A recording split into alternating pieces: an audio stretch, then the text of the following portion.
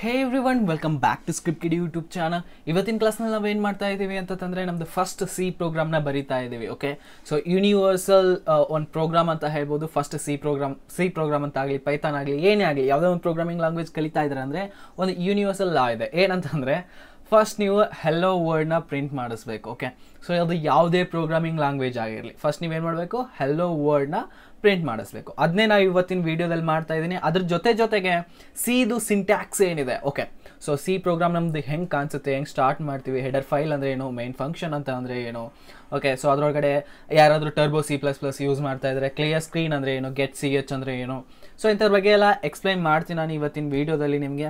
So without wasting any time start ಮಾಡೋಣ. Let's get started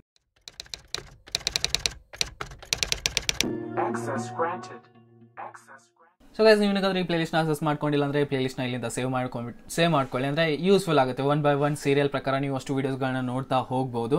ಆದಷ್ಟು ನಿಮ್ಮ ಫ್ರೆಂಡ್ಸ್ಗಳ ಜೊತೆ ಶೇರ್ ಮಾಡೋದ್ರಿಂದ ನನಗೆ ಹೆಲ್ಪ್ಫುಲ್ ಆಗುತ್ತೆ. ಚಾನಲ್ಗೆ ಹೊಸಬರಾಗಿದೆ ಸಬ್ಸ್ಕ್ರೈಬ್ ಮಾಡ್ಕೊಳ್ಳಿ ಓಕೆ ಸೊ ಇಲ್ಲಿ ಕ್ಲಿಕ್ ಮಾಡಿದ್ರೆ ಏನಾಗುತ್ತೆ ಅಂದರೆ ಇದು ಸೇವ್ ಆಗಿಬಿಟ್ಟು ಇಲ್ಲಿ ನಿಮ್ಗೆ ಸಿಗುತ್ತೆ ಪ್ಲೇ ಲಿಸ್ಟ್ ಓಕೆ ಸೊ ಅಂದರೆ ಡೈರೆಕ್ಟಾಗಿ ನೀವು ಅಸೆಸ್ ಮಾಡ್ಕೋಬೋದು.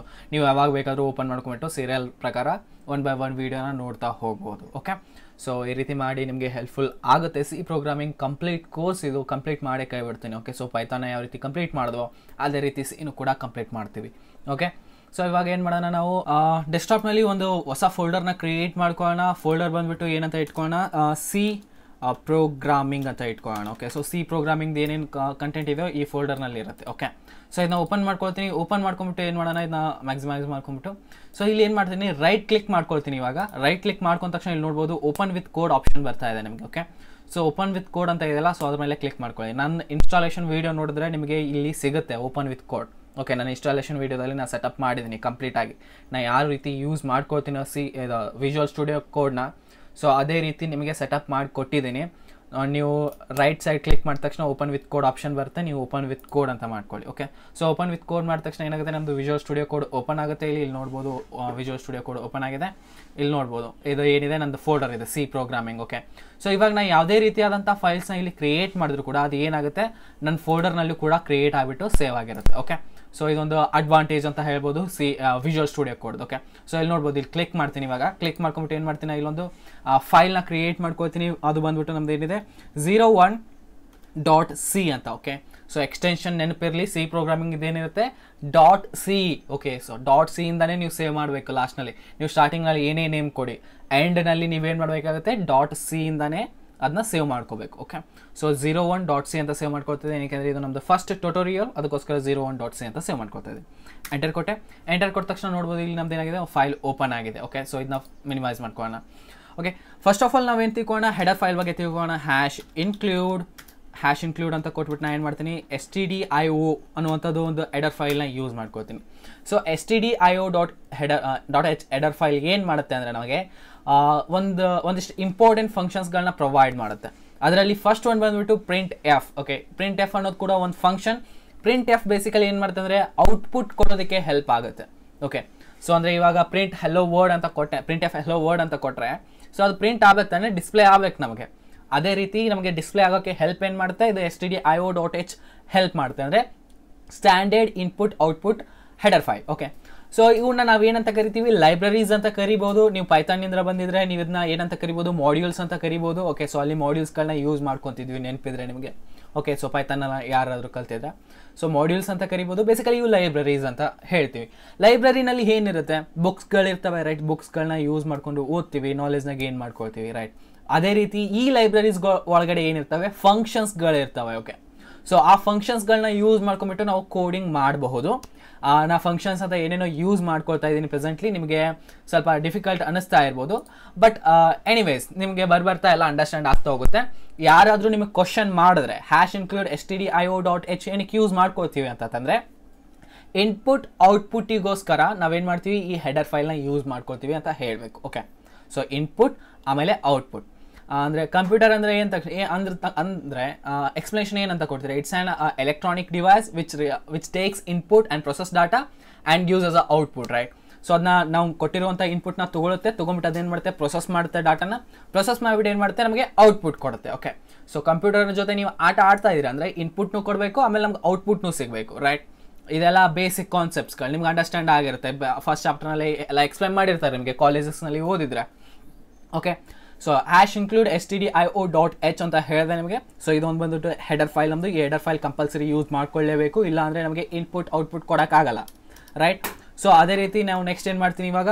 ಮೇನ್ ಫಂಕ್ಷನ್ನ ಬರೀತೀನಿ. ಸೊ ಇಲ್ಲಿ ನಾನು ಏನು ಮಾಡ್ತಾ ಇದ್ದೀನಿ ಇಂಟ್ ಮೇನ್ ಅಂತ ಬರಿತಾ ಇದ್ದೀನಿ okay so int main okay so int ಮೇನ್ನಲ್ಲಿ ಏನು ಮಾಡೋಣ ಇವಾಗ? ಫಸ್ಟ್ ಆಫ್ ಆಲ್ ನಾನು ಹೇಳಿದೆ ನಿಮಗೆ.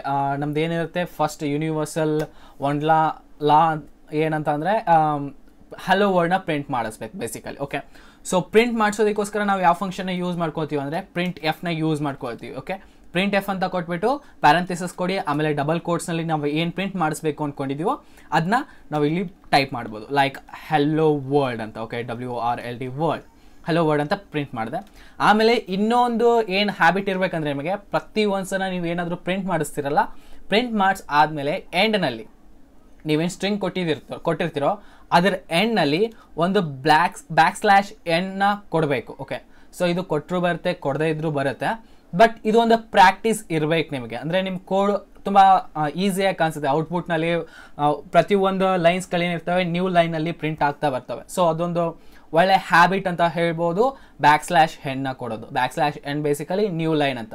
ನೆಕ್ಸ್ಟ್ ನೀವು ಇನ್ನೂ ಕ ಇನ್ನೊಂದು ಯಾವುದಾದ್ರೂ ವರ್ಡ್ನ ಅಥವಾ ಸೆಂಟೆನ್ಸ್ನ ಪ್ರಿಂಟ್ ಮಾಡಿಸ್ಬೇಕು ಅಂದ್ಕೊಂಡ್ರೆ ಅದು ಏನಾಗುತ್ತೆ? ನೆಕ್ಸ್ಟ್ ಲೈನ್ನಲ್ಲಿ ಪ್ರಿಂಟ್ ಆಗುತ್ತೆ. ಸೊ ಅದಕ್ಕೋಸ್ಕರ ಯಾವಾಗಲೂ ಇದೇನಿರಲಿ, ಇರಲಿ ಹ್ಯಾಬಿಟ್ ಇರಲಿ ಓಕೆ ಪ್ರಿಂಟ್ ಎಫ್ ಏನಾದರೂ ಒಂದು ಸ್ಟ್ರಿಂಗ್ ಕೊಟ್ರಿ ನ್ಯೂ ಲೈನ್ನಲ್ಲಿ ಪ್ರಿಂಟ್ ಮಾಡಿಸಿ ಅದನ್ನ ಓಕೆ ನೆಕ್ಸ್ಟ್ ಏನು ಬರ್ತೋ ಅದನ್ನ ನ್ಯೂ ಲೈನಲ್ಲಿ ಪ್ರಿಂಟ್ ಮಾಡಿಸ್ಬೇಕು. ಅದಕ್ಕೋಸ್ಕರ ಬ್ಯಾಕ್ ಸ್ಲ್ಯಾಶ್ ಅನ್ನ ಯಾವತ್ತಿಗೂ ಯೂಸ್ ಮಾಡ್ಕೊಳ್ಳಿ. ಸಿ ಪ್ರೋಗ್ರಾಮಿಂಗ್ನಲ್ಲಿ ಓಕೆ ಸೊ ಅದಾದಮೇಲೆ ಏನು ಮಾಡಬೇಕು? ಈ ಲೈನ್ನ ಪ್ರಿಂಟ್ ಎಫ್ ಫಂಕ್ಷನ್ ಏನಿದೆ, ಇಲ್ಲಿಗೆ ಎಂಡ್ ಆಯಿತು ಅಂತ ಹೇಳೋದಕ್ಕೆ ನಾವೇನು ಮಾಡ್ತೀವಿ?